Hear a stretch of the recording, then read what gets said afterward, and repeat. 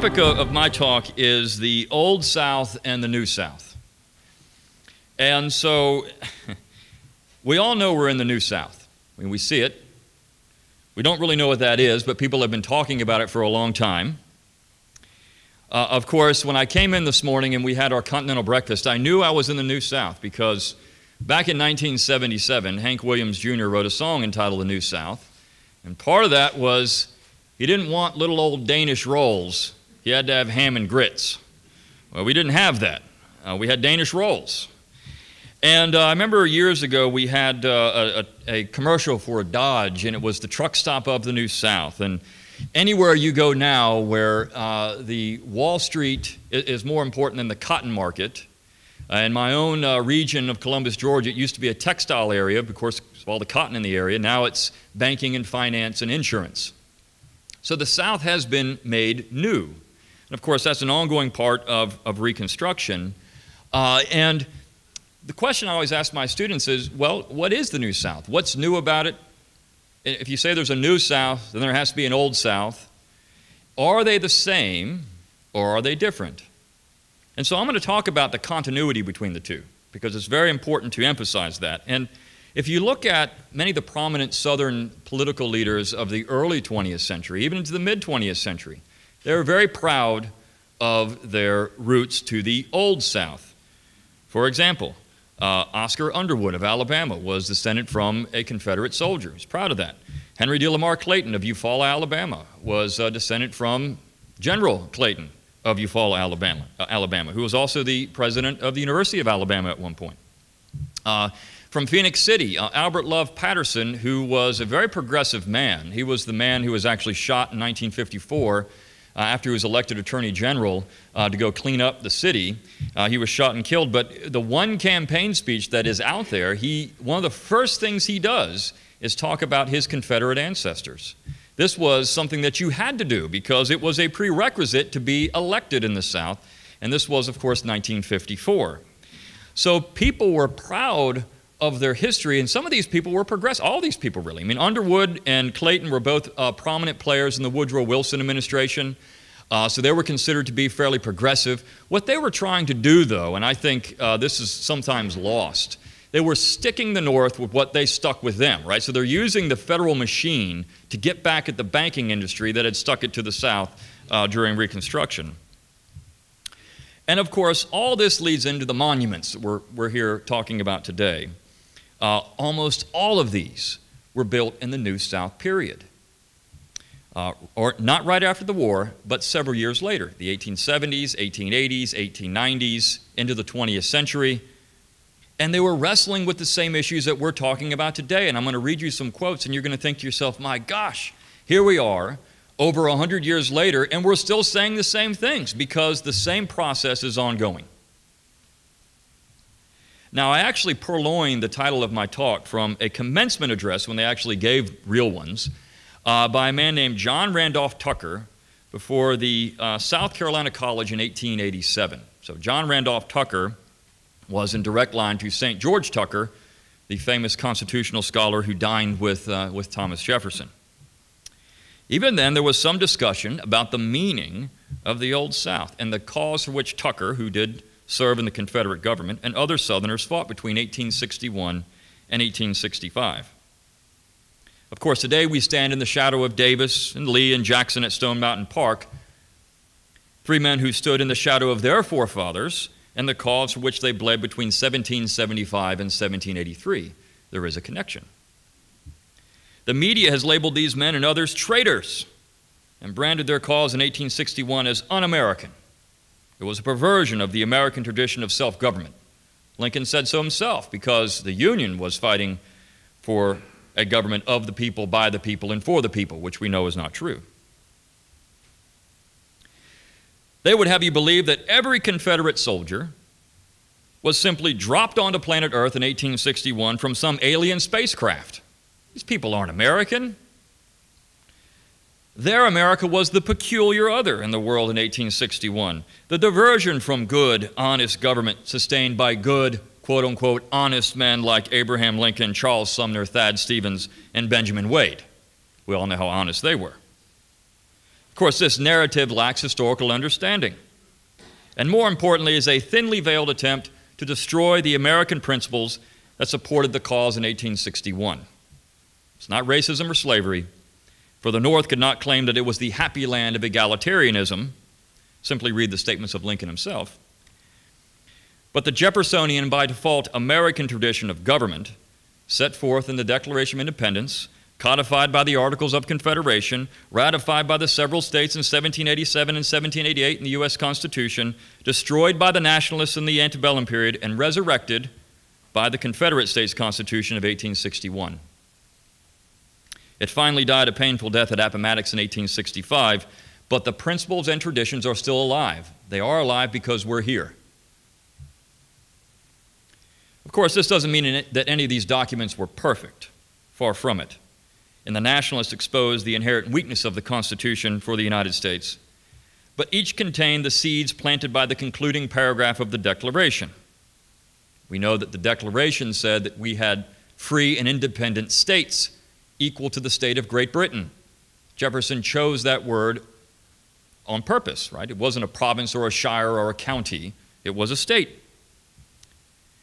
The South germinated those seeds, nurtured their saplings, and then enjoyed the shade of those vital oaks longer than the North, a section that then poisoned them slowly over many years until the South believed that new seeds needed to be planted, seeds that reflected the Jeffersonian American tradition. Confederate monuments and symbols are under attack because they represent the perpetuation of the Jeffersonian tradition of self government and decentralization. That's really the underlying theme. We cannot let the other side deflect the issue and reduce the cause to a simple defense of race and slavery. This is a juvenile response to a complex question, and it ignores the great foundation of the Southern tradition, one that was formed when Sir Walter Raleigh financed the first English attempt to settle the New World in the 16th century. To them, to these Englishmen, the New World was a God given utopic environment of riches for those who had the energy and activity to manage them. In contrast, New England writers spoke of a dark and foreboding wilderness, a primitive place that had to be survived, not utilized. They ate stale brown bread, cold baked beans, and drank apple cider, while Virginians dined on the bountiful crops of their fruitful harvests. Southern optimism was tested by Reconstruction, but the monuments erected by the UDC and other groups showed that the spirit which animated them in 1861 was never choked out by the boot, just as the optimism of those early settlers was never crushed by a harsh environment. And so, what was the cause for which these men fought for in 1861? Well, if you read the monuments themselves, they tell you what it was. And a cursory review lets us know that. So, from Columbus, Georgia, the, the Confederate monument in Columbus, Georgia, it says, quote, to honor the Confederate soldiers who died to repel unconstitutional invasion, to protect the right reserved to the people, and to perpetuate forever the sovereignty of the states from Austin, Texas, died for states' rights guaranteed under the Constitution. The people of the South, animated by the spirit of 1776 to preserve their rights, withdrew from the federal compact in 1861. The North resorted to coercion. The South, against overwhelming numbers and resources, fought until exhausted. From Richmond County, Georgia, these men died in defense of the principles of the Declaration of Independence. From Augusta, Georgia, for the honor of Georgia, for the rights of the states, for the liberties of the South, for the principles of the Union, as these were handed down to them by the fathers of our common country. And finally, from St. Louis, Missouri, to the memory of the soldiers and sailors of the Southern Confederacy who fought to uphold the right declared by the pen of Jefferson and achieved by the sword of Washington. With sublime self sacrifice, they battled to preserve the independence of the states, which was won from Great Britain, and to perpetuate the constitutional government which was established by the fathers. That's what they were fighting for. Now, critics have charged that this is the worst sort of historical revisionism, that the Declaration of Independence could never be invoked by a people so dedicated to undermining its stated proposition that all men are created equal. Anyone with even a few minutes of time and energy would find that countless men across the South believed they were advancing the cause of their fathers in 1861. After all, the Declaration of Independence was not a proposition document, but a political call for action, meaning independence, that followed the format of the English Bill of Rights of 1689. Jefferson himself stated that the Declaration contained no new social theories, but simply expressed the American mind of the time.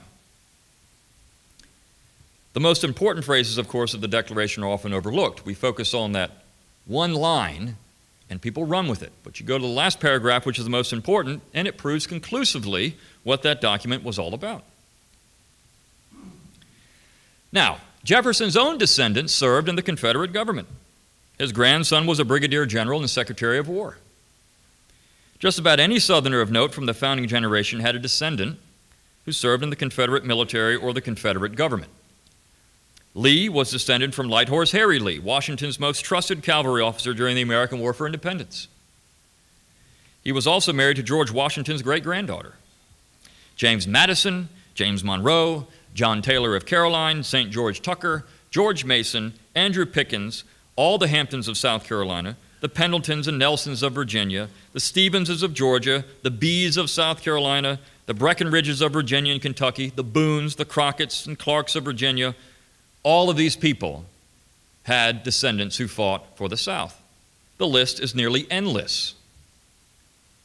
Jefferson Davis's father fought in the American War for Independence. So he was not speaking out of turn when he said to the Senate in 1861 that his duty was to preserve the heritage that had been handed down to him by his father and send it to future generations.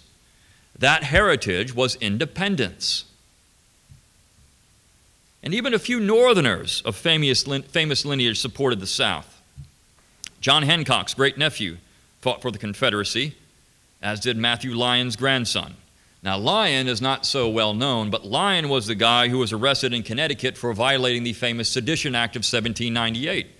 He actually ran for Congress while he was in jail and was elected. There used to be good Connecticuters. And this says nothing of President John Tyler, who served in the Confederate Congress. He dined with his father at Jefferson's table as a boy. Perhaps, though, the best summary of the direct lineage from the early Federal Republic to the war in 1861 came from the pen of, pen of Richard Taylor, the son of war hero and 12th President Zachary Taylor. Taylor's response at the conclusion of the war to a recent German immigrant turned Union soldier, outlined his understanding of history and traditional American principles, principles the South defended and exemplified. This unnamed German, quote unquote, comforted Taylor by assurances that we of the South would speedily recognize our ignorance and errors, especially about slavery and the rights of states, and rejoice in the results of the war. Taylor then apologized for, quote unquote, meekly defending his ignorance on the ground that my ancestors had come from England to Virginia in 1608, and in the short intervening period of 250 odd years, had found no time to transmit to me correct ideas of the duties of American citizenship. The German officer simply smiled and offered to instruct Taylor whenever needed. Finding foreigners in the service of the blue was not uncommon. The great American writer Ambrose Bierce once complained that he was the only Union soldier who spoke English in his POW camp during the war. Irishmen, Swedes, Germans were offered bounties and meals once they jumped off the boat if they would simply go south and fight the Confederates. The North made up for a lack of enthusiasm for the war by utilizing the large numbers of foreign immigrants that arrived in their harbors on a daily basis. If it could not acquire soldiers that way, it offered large bounties for enlistment or simply conscripted them. The historian William Marvel has done a nice job showing the financial motivation for many New Englanders during the early days of the war. It was a job, and they could get money for it. And of course, the draft sparked riots in New York and Wisconsin, while enrollment agents often found it hard to locate men of military age when they came calling in the North, particularly in the so called border states. Uh, in Delaware, for example, large numbers of men who could have been drafted into service were listed as missing or sick and hidden by their relatives. That was draft dodging at its best. Of course, this does not mean there were no foreigners who supported the Confederate cause. Many did. But the overwhelming majority came from American stock that traces its lineage to the earliest settlers in North America.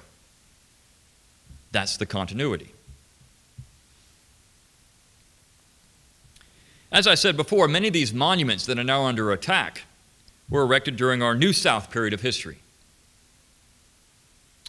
This has been labeled the era of the lost cause, a complete revision of history that distorted the true meaning and nature of the war. In fact, it was during this time that the wounds of the war were finally being healed, and the bitter attacks leveled at Southerners were abating in the North, not entirely, but somewhat. The Grover Cleveland administration, for example, was the first to attempt to set aside these sectional feelings and incorporate the South into the new Union. And very famously, you know, Cleveland always denied he had any role in this, but there was a famous rebel flag order where the confiscated Confederate flags were, were to be returned to the South. And the Grand Army of the Republic balked at that, and Cleveland had to rescind the order. uh, Reconstruction policies were denounced in both the North and South as unconstitutional invasions of self government. Southerners were finally free to honor the men who had fought for Jeffersonian principles of self determination. There were still some attacks from Northern pens. Then, as now, the South was the punching bag for the delusional, self righteous Yankee. It's a disorder, by the way. during a Confederate Memorial Day celebration in Columbus, Georgia in 1898. Judge Henry R. Goetchius hammered this point home, and I'm going to read you his quote. But history furnishes no sublimer evidence of patriotism and love of country than was exhibited by the noblemen of whom we speak today. The most execrated of all men by his fellow citizens and by his posterity is he who betrays his country and the most honored of men is he who falls a blessed martyr to his country's cause. It was a common thing for the enemies of the South to charge against Southern soldiers the infamous crime of rebellion, and they were branded as traitors. At the close of hostilities, the president of the Confederacy was thrown into chains and into prison to be made a vicarious sacrifice for the sins of his people. And it was intended that he should be hung Similar steps were taken, happily not consummated, to incarcerate the leader of the Confederate armies. Partaking of this bitter and revengeful feeling, the historians of the North have written and printed and have industriously circulated histories containing these charges. Their books are today, in 1898, sold in your cities, admitted into your homes, and taught in your schools. In your own state of Georgia, and until recently in this patriotic city, which has contributed so much blood and treasure and blessed memory to the Southern cause, the children are being allowed to understand that the cause of the Confederacy was the cause of traitors, and that those who fought for it were rebels. Can these things be and we remain silent? In 1898, Just one year prior, another Confederate veteran named John Cussons wrote of his fear of the future with the prevailing Northern interpretation of the war saturating history textbooks across the United States, but particularly in the South. He said this Our grandchildren, trained in the public schools, often mingle with their affection an indefinable pity, a, a pathetic sorrow solacing us with their caresses while vainly striving to forget our crimes. A bright little girl climbs into the old veteran's lap and, hugging him hard and kissing his gray beard, exclaims, I don't care, Grandpa, if you are an old rebel. I love you. He later wrote, The whole story of the war and its causes has been distorted and perverted and falsely told. Yet at the bar of unbiased history, before the tribunal of impartial posterity, it will become manifest that the vital principle of self government, the world's ideal, and what we fondly deemed American, America's realization of that ideal, went down in blood and tears on the stricken field of, of Appomattox. It was there that statehood perished. It was there that the last stand was made for the once sacred principle of government by free consent. The culprit in all this, of course, to Cussons, was the Yankee, whom Cussons defined as a self styled apostle of liberty. He has ever claimed for himself the liberty of persecuting all who presume to differ from him. Self appointed as the champion of unity and harmony, he has carried discord into every land that his foot has smitten. Exalting himself as the defender of freedom of thought, his favorite practice has been to muzzle the press and to adjourn legislators, legislatures with the sword. Vaunting himself as the only true disciple of the living God, he has done more to bring sacred things into disrepute than has been accomplished by all the apostates of all the ages, from Judas to Robert G. Ingersoll.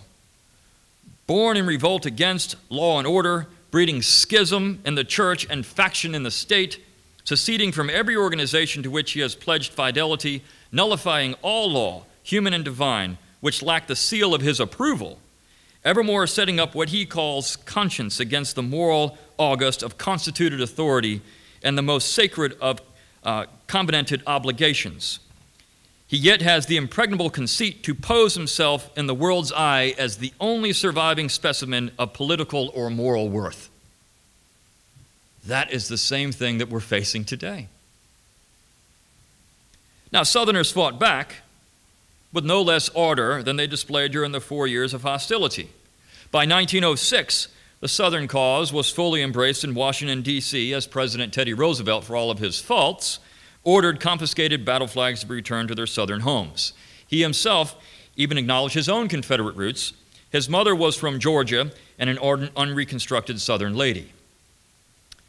To Roosevelt, Southern symbols were as American as those found in the North among Union veterans. And our third talk today is going to discuss that. Even Southerners who embraced the tenets of the New South reverently spoke of the old. And that's important. You can embrace the new, but you never forget the old. Henry Grady, perhaps the most conspicuous advocate of a New South, said in his famous 1886 speech in New York City that in speaking to the toast with which you have honored me, I accept the term the New South as in no sense disparaging to the old. Dear to me, sir, is the home of my childhood and the traditions of my people. I would not, if I could, dim the glory they won in peace and war, or by word or deed take aught from the splendor and grace of their civilization. Never equaled, and perhaps never to be equaled, in its chivalric strength and grace. There is a new South, not through protest against the old, but because of new conditions, new adjustments, and if you please, new ideas and aspirations. The continuity of the Old South to the New has been manifested longer in the political traditions than any other trait that comes out of Southern civilization. John Randolph Tucker, who I'll read another quote from him in a minute, called the inductive philosophy of, in political science the peculiar product of Southern thought. His father was Henry St. George Tucker, and his grandfather was St. George Tucker. John Randolph Tucker's son would serve in the Congress and was one of the best legal minds in the United States into the 20th century.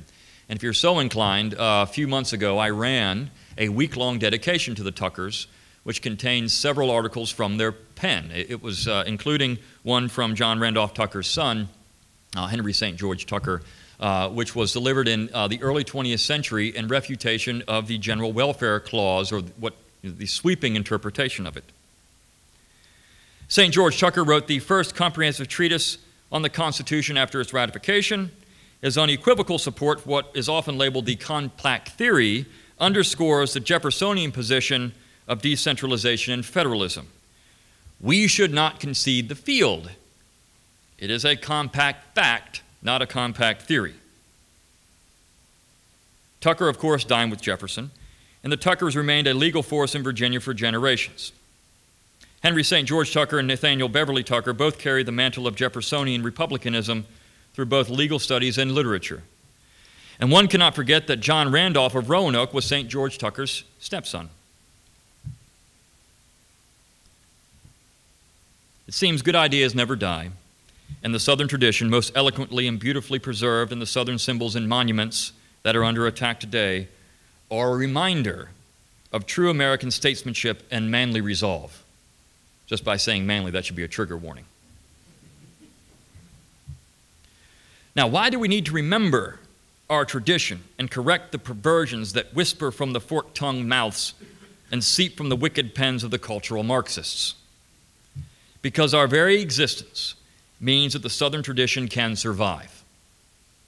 And if the Southern tradition survives, then the American tradition survives. John Cusson said in 1897 that a people which takes no pride in the noble achievements of a remote ancestry will never achieve anything worthy to be remembered by remote descendants. And John Randolph Tucker implored the men of South Carolina College to remember the past, and this is his quote. I would love to hear this kind of commencement address. Let us then be done with self crimination and recrimination. From the misfortunes, faults, and mistakes of the Old North and the Old South, let us discern and rescue the truth, buried under the wreck and rubbish of war and revolution, and exhuming it as precious seed for the civilization of the New South. Do honor to the heroic martyrdom of our dead, and cling to the principles for which they died as the everlasting memorial of their great names, and as the priceless heritage of our latest posterity.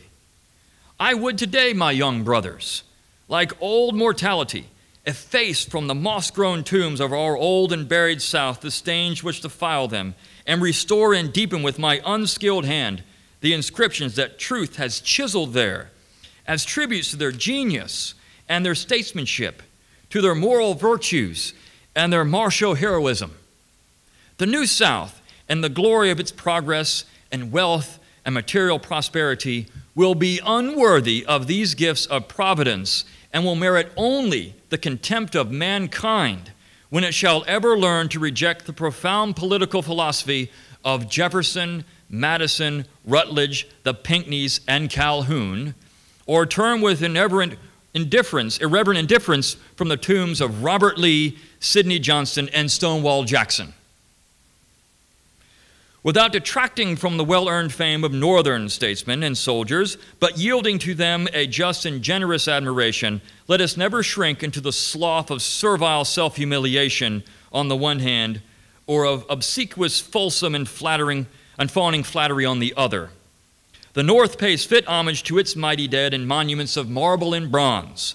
Let us take care to mark with honorable memorials the graves which cover the ashes of our sages patriots and heroes who are the peers of any who have ever appeared in the history of mankind. That is why we are here.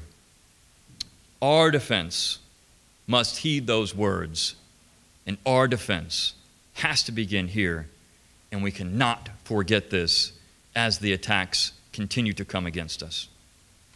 Thank you very much for your time, ladies and gentlemen.